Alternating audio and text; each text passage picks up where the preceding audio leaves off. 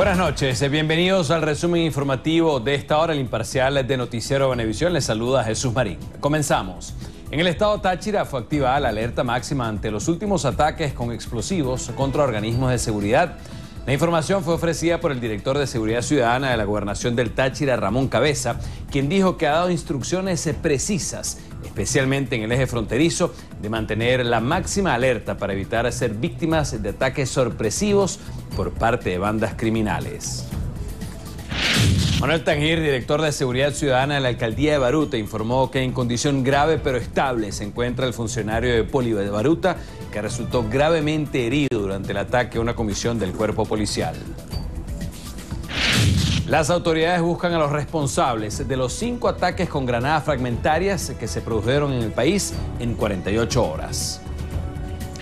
Mientras que el Ministerio Público presentará en las próximas horas ante un tribunal de control de Guárico a Juan Gabriel Loaiza Mireles y un adolescente de 16 años de edad por su presunta vinculación con la explosión de una granada arrojada contra una estación policial en San Juan de los Morros.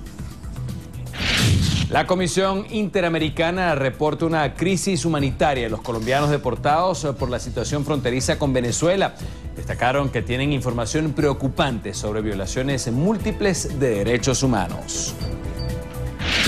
A través de un comunicado, la UNASUR anunció que el gobierno de Venezuela acordó colaborar en la normalización del estatus de los colombianos que fueron deportados y que quieran regresar. Enrique Capriles, el gobernador de Miranda, espera que detrás de los ataques a funcionarios y a módulos policiales no esté la intención del gobierno de crear un ambiente de violencia para suspender las elecciones parlamentarias. El presidente de la República, Nicolás Maduro, se reunió en Nueva York con su homólogo iraní, Hassan Rouhani, para ratificar los lazos de amistad y cooperación entre ambas naciones. La Mesa de la Unidad Democrática rechazó lo que denominó como acciones terroristas contra policías en varias ciudades del país. Henry Hernández, viceministro de Recursos, Tecnología y Regulación del Ministerio para la Salud, afirmó que están garantizados los insumos para los hospitales. Dirigentes del Partido Acción Democrática conmemoraron este lunes 34 años de la muerte de Rómulo Betancourt y destacaron el pensamiento y postura del líder frente a las sazonadas y la presencia de militares en la dirección del país. Fue suspendido el incremento de la tasa de salida desde el aeropuerto de Maiquetía, anunciado en 5.100 bolívares. La Asociación de Líneas Aéreas de Venezuela informó que trabaja por un ajuste a niveles internacionales. Este lunes se paralizó la producción de atún de la planta de alimentos polar ubicada en Mariguitar, en el estado Sucre, por falta de materia prima. 900 trabajadores se podrían quedar sin empleo. Quedó sin efecto la resolución del Ministerio para Educación eh, que ordenaba regular el tipo de alimentos ofertados en las cantinas escolares. Más de 250 trabajadores de la planta Superenvases de Empresas Polar Carabobo quedarán a partir de esta semana sin devengar su salario tras cumplirse los 60 días de paralización de la planta por falta de materia prima. La reunión de los ministros de Defensa de Colombia y Venezuela en Santa Marta para tratar la crisis fronteriza fue postergada un día. Se celebrará el miércoles 30 de septiembre. El diputado Gustavo Delgado de Copey Táchira anunció que pese al estado de excepción decretado en la entidad, persisten las colas para comprar alimentos en la región. La candidata del PSUF por el circuito 1 de Aragua, Andreina Tarazón, afirmó que la política exterior encabezada por el presidente Maduro ha adelantado acciones como la paz y el respeto a las instituciones de Venezuela. Voceros del Partido Progreso Social afirmaron que el presidente Nicolás Maduro mintió en las Naciones Unidas al pedir que se derrote la miseria en el mundo cuando a su juicio no lo ha hecho en Venezuela. La candidata a diputada Jacqueline Faría aseguró que pese a las dificultades producto de la caída de los precios del petróleo y los ataques de sectores adversos al gobierno, el oficialismo representa la opción de cambio en la realidad del país.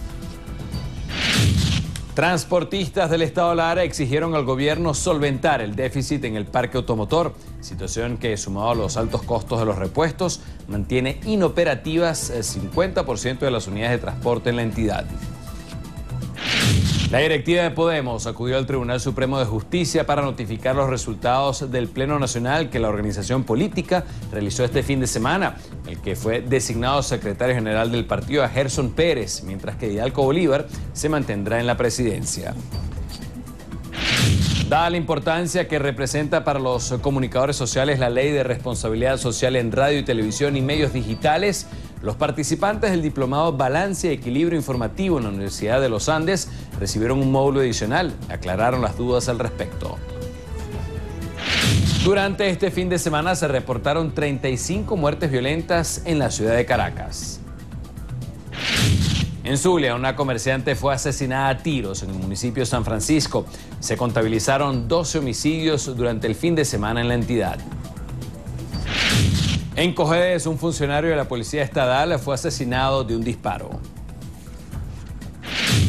Internos de la Penitenciaría General de Venezuela iniciaron una huelga jurídica que consiste en impedir el acceso de los trabajadores del penal para exigir celeridad procesal.